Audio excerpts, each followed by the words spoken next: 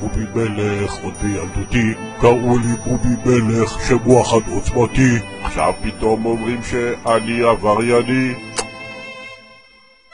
זה כמעט גרוע, כמו שמאל קיצוני. אומרים כי אני אינני ימין, על זה אני לא אמחל. כי אם אני פתאום שמאלני, אז מי אני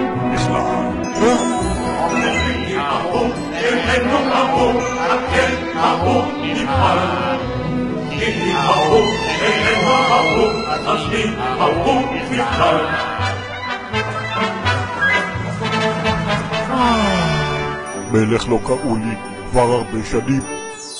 הכל נראה אבוד, עוד אכנס בפנים. ויקראו לי מלכה העבריינים.